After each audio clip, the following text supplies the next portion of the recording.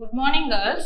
I am Dr. J. Bhuvana, Assistant Professor of Chemistry, ADM College for Women, Nagapattinam. Today, we are going to discuss about simple first aid procedure for accident occurs in laboratory. In spite of the precautions taken, accidents occur in the laboratory. When accident occurs, the student should know the first aid procedure that is to be given to the victim. One must always remember to take the victim to the doctor after giving first aid. As first aid is not a complete treatment but first aid only.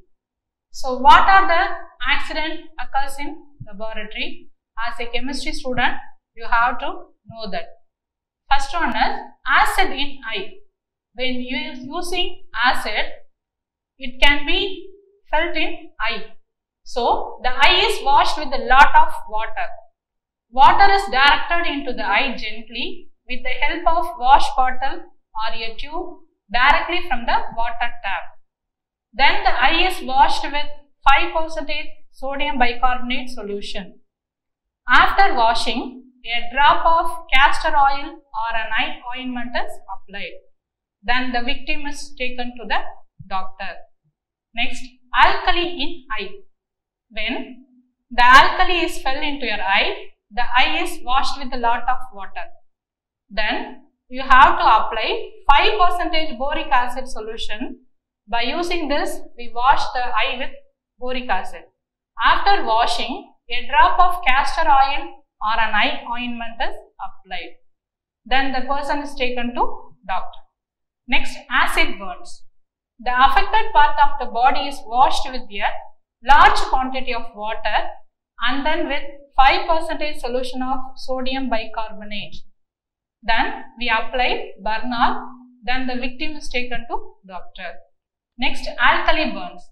The affected part of the body is washed with large quantity of water and then with 5% solution of acetic acid.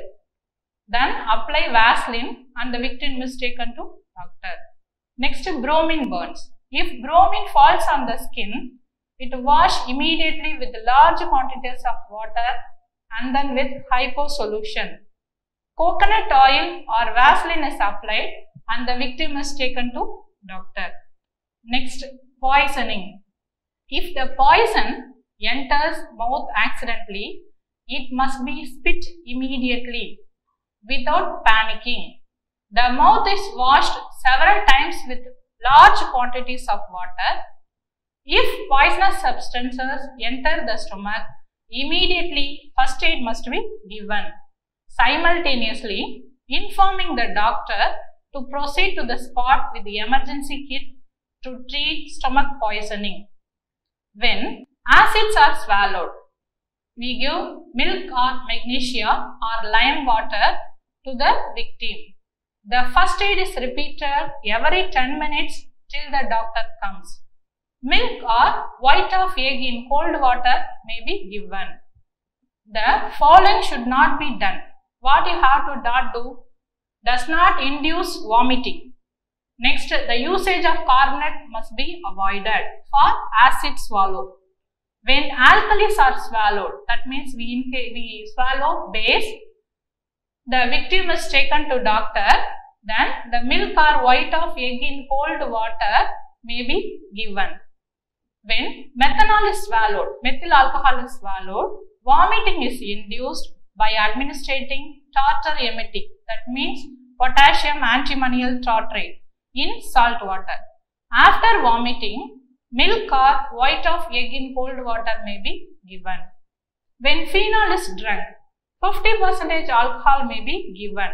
By adding 50% alcohol with 50% water, we can given for phenol swallow.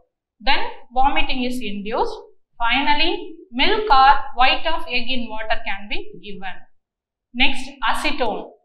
When we swallow acetone, we have to induce the vomiting, then give the universal antidote. Universal antidote is nothing but two parts of pulverized charcoal, one part of manganese oxide and one part of tannic acid.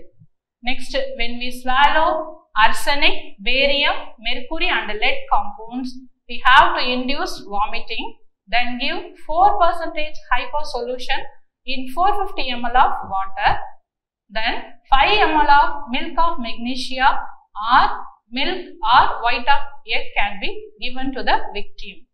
Next we swallow copper compounds, then we have to induce vomiting first, then give 100 ml of sodium hydrogen phosphate solution to the victim, then take the victim to the doctor. Next cyanide, this is very important. When we accidentally swallow cyanide, the speedy first aid needed. That means we have to induce vomiting, then give 250 ml of water containing 10 ml of 3 percentage hydrogen peroxide or 250 ml of freshly prepared solution containing 5 percentage ferrous sulfate and 5 percentage sodium bicarbonate.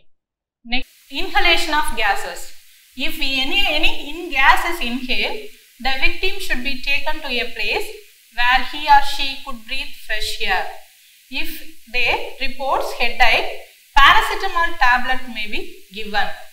If chlorine or bromine vapors is inhaled, ammonia or alcohol vapor is to be inhaled carefully. If hydrogen sulfide, carbon monoxide or HCN is inhaled, ammonia is to be inhaled. Artificial respiration may be given if possible. Then the victim is taken to doctor. Next accident, cut by glasses. We use lot of glass wells. So, if the cut is not severe with mild bleeding, the pieces, glass pieces occurs in the skin, dirt etc. are removed as far as possible with using cotton. The wound is treated with rectified spirit. That means tincture iodine, 3% iodine dissolved in alcohol is applied.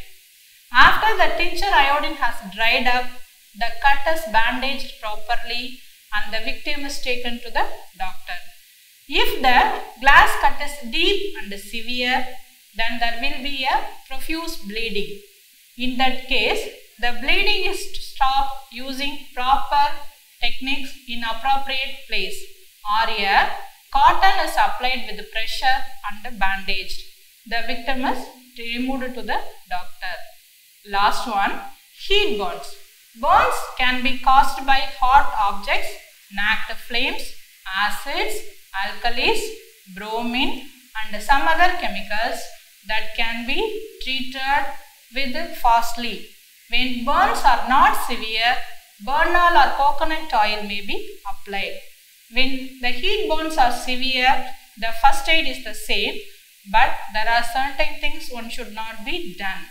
So what are the don'ts we have to follow means they are don't wash with water. But there is a difference of opinion about this. Some says that the burns must be thoroughly washed with the maximum amount of water so as to prevent great damage to the skin.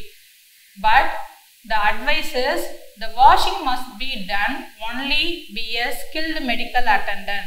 So we does not wash with water. If the clothes are sticking to the wound, they should not be removed forcibly.